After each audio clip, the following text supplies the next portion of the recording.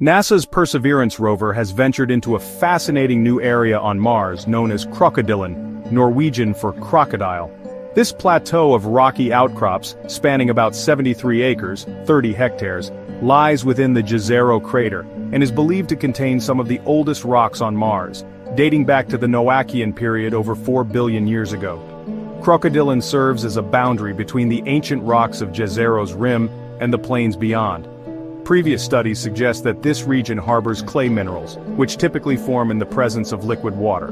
If Perseverance detects more such minerals, it could indicate that the area was once habitable, a tantalizing prospect in the search for past life on Mars. As the rover navigates this rugged terrain, it employs its suite of scientific instruments to analyze rock compositions and collect samples. These samples are being cached for a future mission that aims to return them to Earth, providing scientists with invaluable insights into Mars's geological history and the potential for ancient life.